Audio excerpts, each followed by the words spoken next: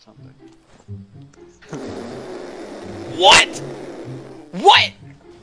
Dude, he just failed. Did you guys hear that? What?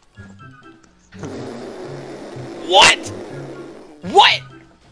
Dude, he just failed. Did you guys hear that? And that, my friends, is the secret version of the battle cry emote. That is credit to Greg Fallen 12 over on Reddit. That is one of the funniest things I've heard in a while. You're ready to just do your battle cry and nothing comes out. Apparently it does that from time to time. That's just Epic Games putting their little troll spin on yet another thing. What's up everybody? Welcome to another Fortnite video, update video. We're gonna go over a lot today. It's Saturday. We don't have a ton of new news, but we are going to talk about the official details for Season 6. We're going to talk about a shield shower, a victory cape, a guy that actually tried or threatened to kill an 11-year-old boy because he was salty and lost a Fortnite match. We're going to go over some other stuff, and at the end of this video, if you stick around to the end, I have something special for you guys. It is a Fortnite Season 6 trailer concept, brand new, just put together by Sardar and CrisFMJ. I'll put a link in the description to both of their channels too. They're putting out some really, really cool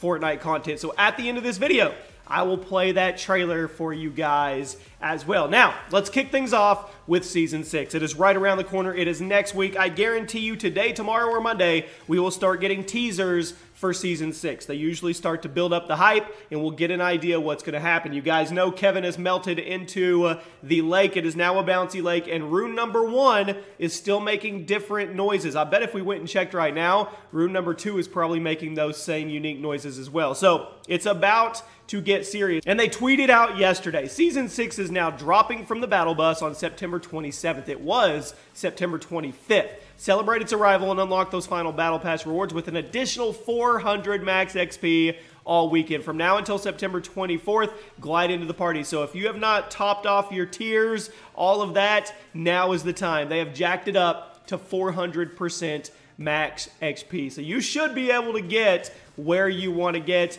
And September 27th is this coming Thursday. So as you guys know, it's a big ordeal. It's a big thing when we go from season to season. So I will be up at like 3 in the morning making content for you guys when it comes to season 6. So make sure you camp the channel. Make sure your notifications are on. We're going to cover absolutely everything because we're just to get we're going to get loaded with new things. I mean, the trailer, the new map changes, what happened to Kevin, what happens to uh, Loot Lake, the amusement park that's supposedly coming, maybe a secret bunker, the secret bunker, something comes out, maybe Ragnarok finally makes his appearance, all kinds of crazy stuff, and there's no telling what the leaked skins are, what the new theme's gonna be. It's gonna be a lot of fun. Now, let's move on to some other stuff, and I, I've briefly talked about this. You've probably seen this out there.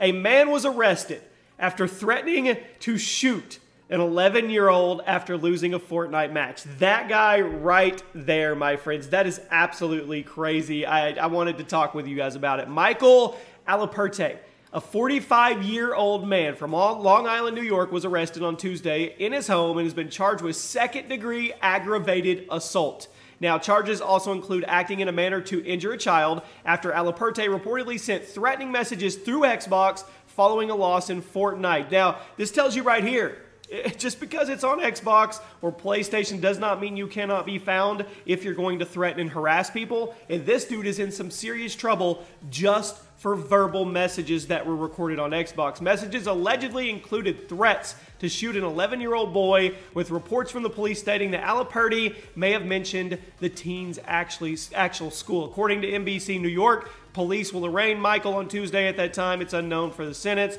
Ever since it's been released, Fortnite blah, blah, blah. You know, mainstream media is going to use this one and go crazy. The point is, don't do stuff that, don't do dumb stuff I know if you get mad in a Fortnite game, and this guy's obviously, he's an older guy, he's probably not a very good shot, he's probably a little upset, but there is no end game where it's anything good is going to happen when you go on and you threaten a kid. Not even a kid. You don't go threaten anybody bodily harm over a video game. That is absolutely ridiculous. So I wanted to share that with you guys. Now, let's keep going. To all the people that say, Fortnite is dead. It's dead. All the players are gone. Nobody's playing it. There's no hype. I, I'm not sure what game you're watching, but that's not the case at all. So, it, according to Epic Games, the month of August saw 78 million players across all platforms logging in to play Fortnite. This makes August Fortnite's biggest month yet. We talked in June or July how it could possibly peak and it was going to start coming down. And I see people tweeting me all the time Fortnite's dying, Fortnite's dying. And yet, just a little over a month ago, they, they hit their highest ever. And now, that may very well be the peak. 78 million may be the peak. I don't know, but you, you, just never know anymore because Epic Games and Fortnite are in uncharted waters when it comes to this. A player count was vital for the developer to make changes to the infrastructure and systems,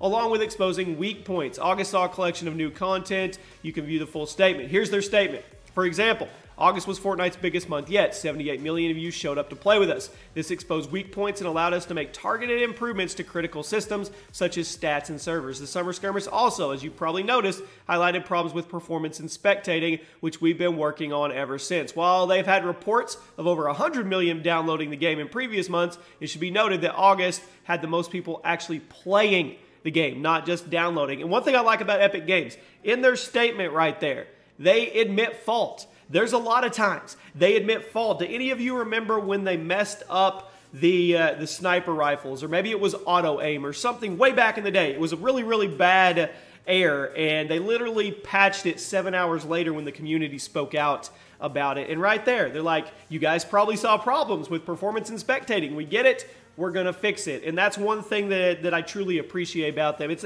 That's not being a Fortnite fanboy. That's just being a fan of a developing studio that actually gets it, that actually listens to us, the gamers, and understands that the community is what drives the game. And I'm all for that. Now, Let's move on to some concepts, my friend. You've seen this one, okay? This is Sardar Concepts. This guy is the one you're going to be watching the trailer from in a minute. You've seen this map. Just wanted to give you one more look at it so you can see what he thinks is going to happen. Crazy coasters. We're going to have some slippery slopes. The volcano is going to take over Loot Lake. It's going to create ruptures and stuff like that. And who knows? I mean, obviously, this is just a concept out of his head, but I mean, it could happen. Now, two more concepts before we get into this trailer. One is a victory cape. I thought this was really cool. I wanted to share it with you guys. From Reddit user Schwarzentegger, and he says a victory cape, like other outfits that level up, the victory cape would get more and more elegant as your wins are acquired. So, example, win one match unlocks the Ragged Victory Cape, a brown, torn, tattered cape with a mangled number one on the back. Win 25 matches,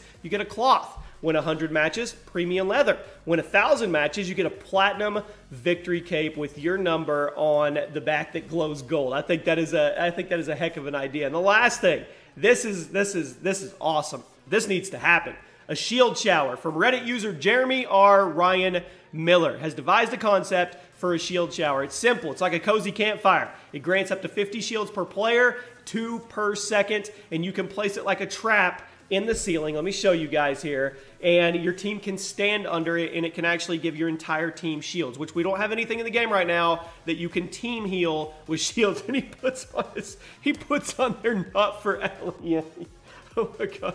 Oh, okay. All right. Place this item on the stealing and stand under it for a shield. It will grant two shield per second, be an epic rarity, and great for a whole squad. That is an awesome awesome idea. Let me know what you guys think. Drop a like. I'm going to leave you with this season six trailer concept